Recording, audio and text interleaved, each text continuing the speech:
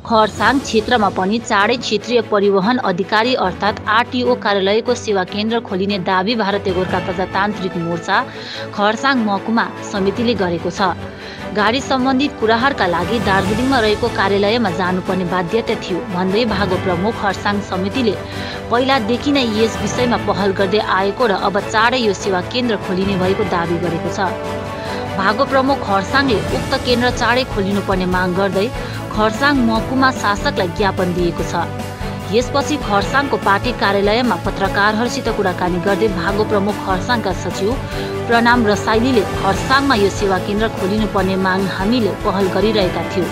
अब चाँडै खोलिने र यसका लागि जमिन पनि हेरिएको बताए। उनले खरसाङ क्षेत्रका चालकहरू र मालिकहरूका लागि दार्जिलिङ जानुपर्ने झमेला नपर्ने र अब खरसाङमा नै काम हुने बताए।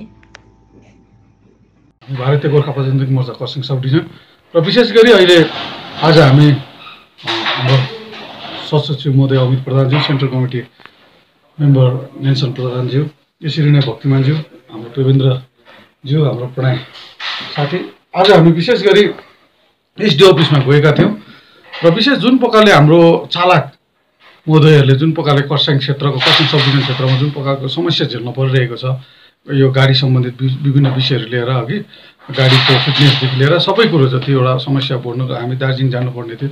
र यो विषयमा हामीले एउटा एसडिओलाई डेपुटेसन दिएको थियौँ कि यहाँ एउटा आरटिओ सेवा केन्द्र होस् भन्ने हिसाबले हामी जाँदाखेरि डेपुटेसन दिँदा एकदमै राम्रो वार्तालाप भएपछि र खरसाङमा चाँडो नै यो सेवा केन्द्र खोलिनेवाला छ र उहाँले पनि एउटा सुझाव दिएको छ कि हामी डिएम अफिसमा पनि गएर अझ यो कुरोलाई अझ भने तीव्र गतिमा यो कुरोलाई अघि लान सक्छ यदि तपाईँहरू डिएम अफिसमा गएर पनि यो कुरोलाई अघि बढाइदियो भन्ने कुरो बापत हामीले चाँडै नै हाम्रो अध्यक्ष महोदयसँग बातचित गरेर डिएम अफिसमा पनि हाम्रो खरसाङ टोली यही हाम्रो जति पनि चालक महोदयहरू छ जति पनि खरसाङ क्षेत्रमा बसेका गाडी मालिकहरू भनौँ अघि उहाँहरू छ उहाँहरूलाई सेवा दिन हेतु यो आरटिओ सेवा केन्द्र चाहिँ चाँडोभन्दा चाँडो खरसाङमा खोलिदियोस् भन्ने अपिल लिएर अब हामी डिएम अफिसमा पनि गइरहेका छौँ। हाम्रो पहिल्यैदेखि नै माग थियो जसरी भनिन्छ जुन चाहिँ कुरो हुनसक्छ त्यो कुरो गर्नुपर्छ भन्ने जुन चाहिँ हाम्रो अध्यक्षज्यूको भनाइ छ यसलाई नै हामीले कर्म नै हाम्रो सिद्धान्त लिएर जुन चाहिँ कुरो हुनसक्छ जस्तो अब अहिले हामीले आरटिओको कुरा गरिरहेको छौँ यस्तै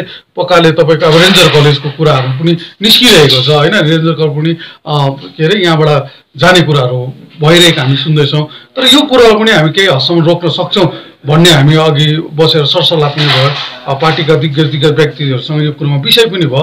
र जुन चाहिँ कुरो हुन सक्छ गर्न सक्छ यो कुरोलाई लिएर हामी अघि बढिरहेका छौँ। त्यसरी नै विगतमा हेर्नुहोस् हाम्रो खरसाङ टाउनबाट हाम्रो खरसाङ प्रतिनिधिहरूले जुन चाहिँ टिभी टावरको कुरोमा डेपुटेसन दिएर केही हदसम्म त्यसलाई अहिले हामीले माने सक्सेस भयो आफ्नो गरिमालाई त्यहीँ राख्नको निम्ति। यसरी नै हामीले जुन कुरो सक्छौँ त्यो कुरोलाई चाहिँ हामीले आफू समक्ष राख्नुपर्छ र जुन कुरो स्टेटबाट हुनसक्छ त्यो कुरो हाम्रो क्षेत्रमा ल्याउनुपर्छ भन्ने उद्देश्य लिएर हामी अघि बढ्दैछौँ। भन्दा अगाडि डेपुटी योभन्दा अगाडि हाम्रो पार्टी स्तरीयबाट यो कुरो बार बार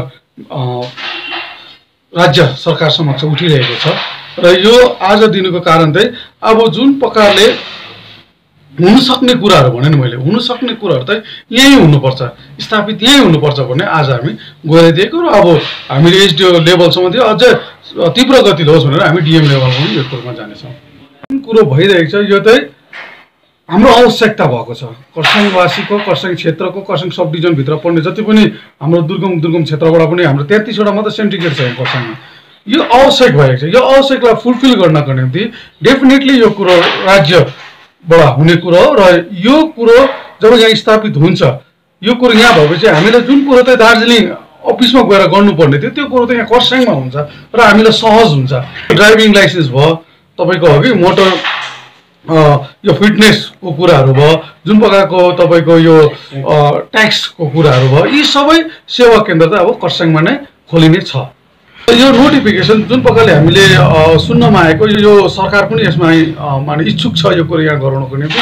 र यसलाई अझ टेवा पुऱ्याउनुको लागि चाँडोभन्दा चाँडो गराउनु पर्छ भन्ने हेतुले नै आज हामी एसटी अफिस पनि गएको छौँ। र यसरी नै अब पाँच छ दिनभित्रमा हामी डिएम अफिस पनि जानेछौँ।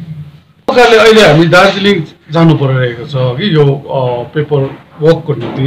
अब त्यो कुरो खरसाङमा हुँदा धेरै नै सुविधा भइहाल्यो नि।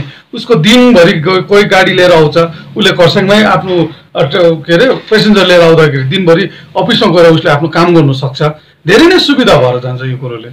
भेटेपछि एसडीले यही कुरा भयो यो कुरोमा सरकार पनि एकदमै पोजिटिभ यो कुरो छ र यो कुरो इम्पोसिबल पोसिबल हो र यो कुरो सरकारको पक्षबाट पनि पहल हुँदैछ। र यसलाई अझ तीव्र गतिमा ल्याउनु भने अझ डिएमकोमा गएर भन्यो भने झन् सहज हुन्छ भन्ने उहाँको हामीलाई सुझाव दिएको छ।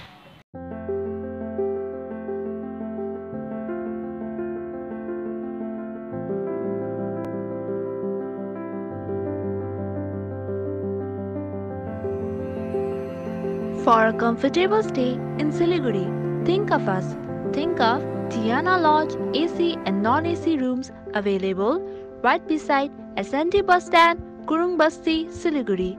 Contact number 801 64 259 43 and 909 16 208 58.